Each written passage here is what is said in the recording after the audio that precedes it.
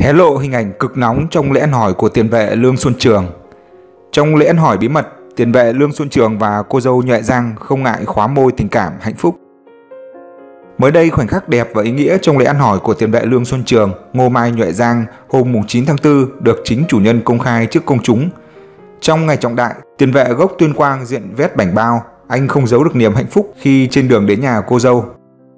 Còn cô dâu diện áo dài đỏ giản dị nhưng vẫn toát lên vẻ thanh thoát, sang trọng.